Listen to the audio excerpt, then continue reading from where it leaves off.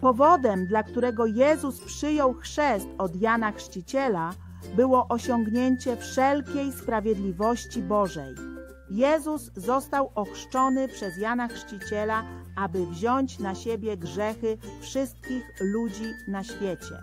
Jednakże ludzie są zdezorientowani i nie rozumieją, dlaczego Jezus został ochrzczony przez Jana Chrzciciela. Chrzest Jezusa od Jana Chrzciciela jest tajemnicą objawioną w Biblii. Wielu ludzi nie rozumie tajemnicy chrztu i błędnie rozumie, dlaczego Jezus został ochrzczony.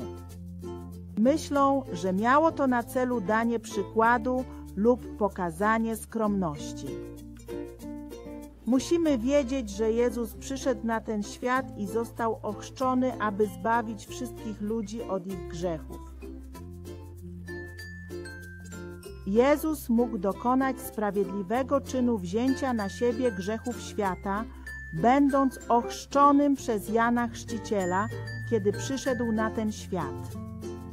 Sprawiedliwym czynem jest to, że Jezus wziął na siebie wszystkie grzechy świata raz na zawsze, przyjmując chrzest od Jana Chrzciciela.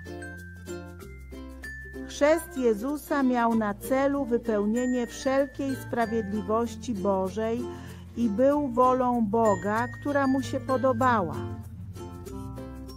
Nasz Pan przyszedł na ten świat, aby zbawić nas od wszystkich naszych grzechów. Został ochrzczony, aby wziąć na siebie wszystkie wasze i moje grzechy raz na zawsze poprzez chrzest i wykrwawienie się na śmierć za nas. Pan wziął na siebie wszystkie grzechy świata raz na zawsze.